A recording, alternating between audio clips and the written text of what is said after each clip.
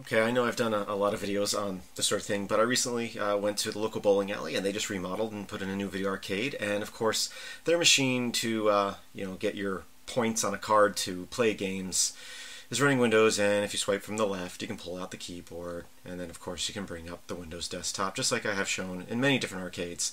Of course, I wouldn't put my credit card into a machine like this, so I'll pay cash shove my money in there. And I also I put five dollars and I got five cards with a dollar each. That way I can hold on to those cards and use them for other projects because they have both magnetic strips and barcodes on the back.